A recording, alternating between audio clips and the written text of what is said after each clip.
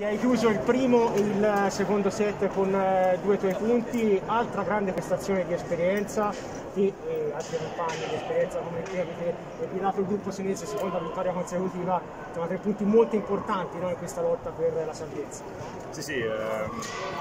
una partita da un'importanza incredibile, insomma, per noi adesso eh,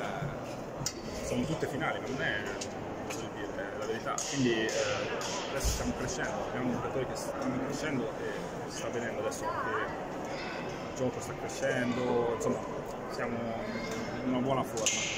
E siamo stati bravi secondo me il secondo set soprattutto perché eh, di solito quando arrivavamo punto a punto eh, c'era sempre qualcosa che non funzionava, oggi invece siamo riusciti a superare quel momento un po' di difficoltà e chiudere poi il secondo set e poi anche la partita 3-0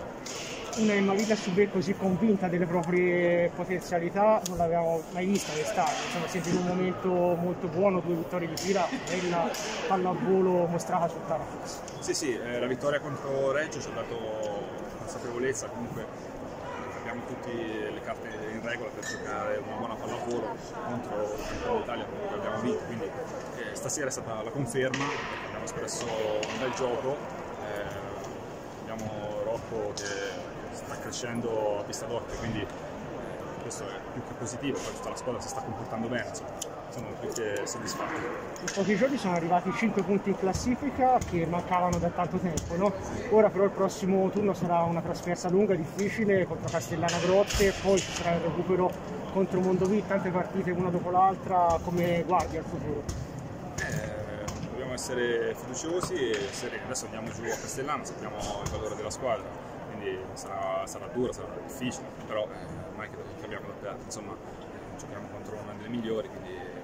abbiamo la possibilità secondo me di portare a casa eh, qualche punto. E poi abbiamo eh, sarà un'altra partita di un'importanza incredibile, ci penseremo la prossima settimana. Perfetto.